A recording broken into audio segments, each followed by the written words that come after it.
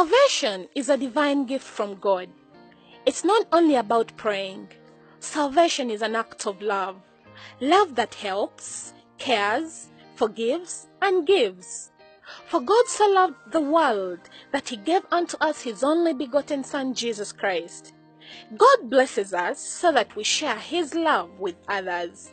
Now be blessed as you learn the true meaning of salvation, which is loving your neighbor as you love yourself.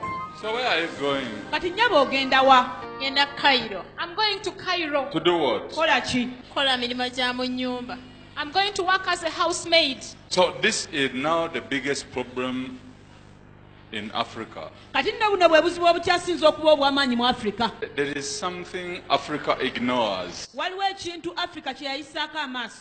Such a beautiful girl. omuwala ng'ono alabika obulungi. Are you married? oli mufumbo nnyabo? Siri mufumba musajja wa katonda.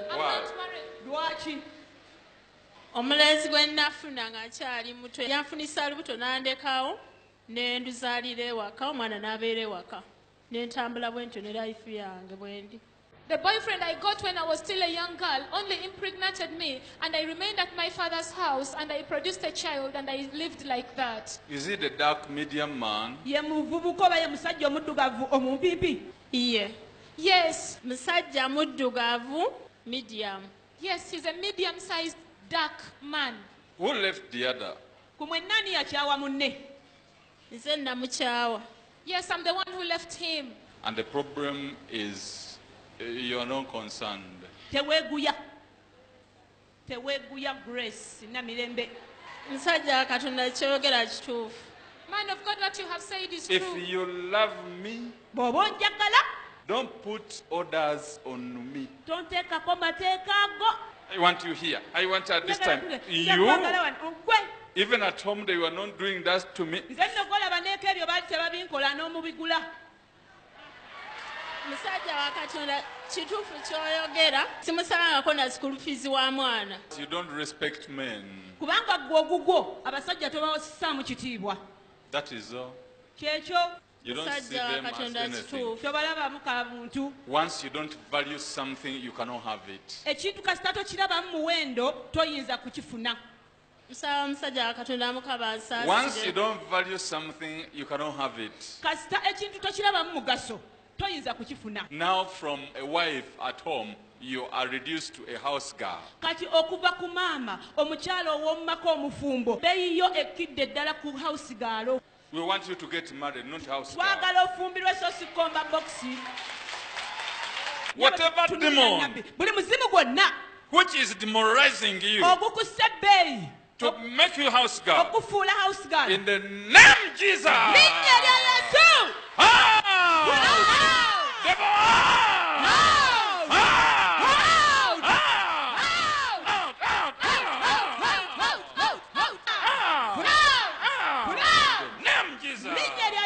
Be free. beera wa ddembe In the name of Jesus. linnya lya yesu Devil, leave. wesitaani mute Be free in Jesus' name. beera wa ddembe mu linnya lya yesu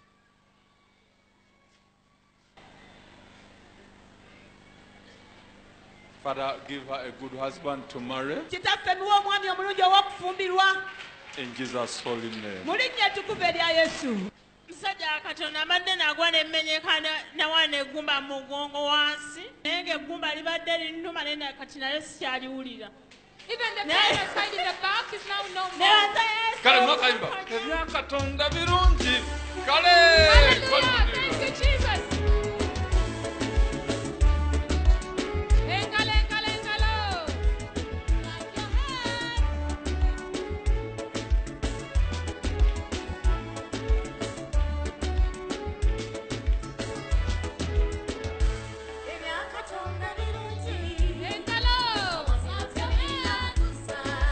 Hallelujah. Amen. so our people have been reduced to slaves. They are taken to arabian countries. Batwalibwa mu mawanga g'abawalabu this is strange.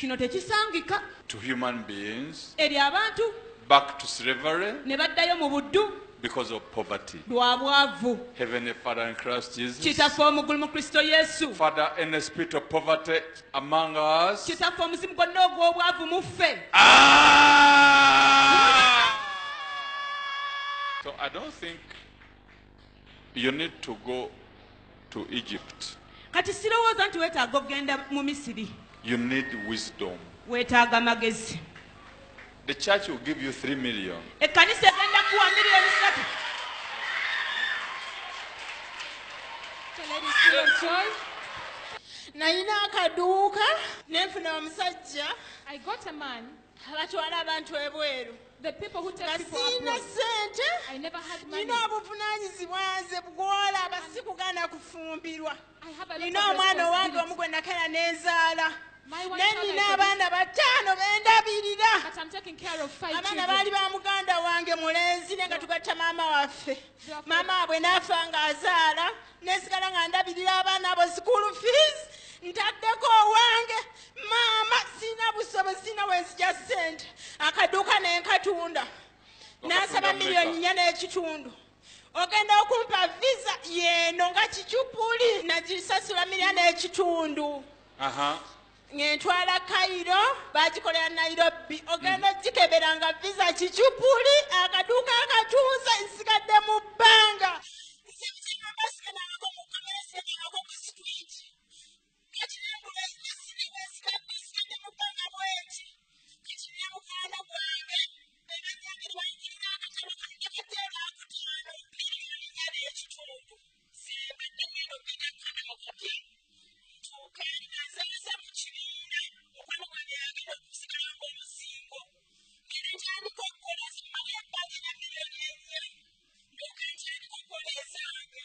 She's taking care of six kids. alabirira abaana mukaaga The mother died. maama w'abaana bali yafa She takes care of her mom. ate yalabirira ne maama we She got the passport, put in visa. yafuna pasipoti okumuteera mu visa 4.5 finish. obukadde buna n'ekitundu bwonna ne buggwawo Sold her shop. n'atunda edduuka lye Now she's borrowing another 4.5 kale ate ali mu kwewola essente endala obukadde miliyoni nnya n'ekitundu. on another passport. Ku lwa pasipoti endala to go and work. agende akole. She will pay the debt first, ajja kusooka kusasula bbanja. and the other debt of 4.5 of which she sold the shop. kati ate n'ebbanja liri ery'obukadde obuna n'ekitundu bwe yatundamu edduuka This is 2 million, zino miliyoni bbiri 3 million, 4 million, 5 million. Go back to your shop. ddayo mu dduuka lyo Go back to your shop. ddayo mu dduuka lyo Clap your hands for Jesus Christ. Tukubira Yesu Kristo mu ngalo. yansumululanze kulujegere omulabe setaani ah, bwe yali ku bizibu ebingi